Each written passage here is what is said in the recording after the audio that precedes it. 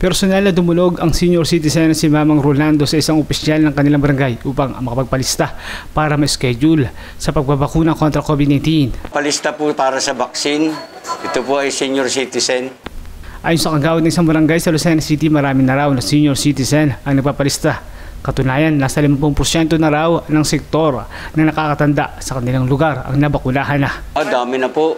Si Rosalinda pinakisuyuan ng kanyang mga kamag-anak ng mga senior citizen na tumungo sa barangay upang sila ipalista upang makasama sa bakunahan laban sa COVID-19. Napalista po yung mga senior citizen na aking kaanak para po sa vaccine. Samantala ayon sa chairperson ng National Commission of Senior Citizen na si Franklin Quijano, dumarami na ang bilang ng mga senior citizen na nais magbabakuna kontra COVID-19. Hindi raw kagaya noong una maraming mga senyor ang ayaw magpatulok dahil sa pag-aalangan sa bakuna.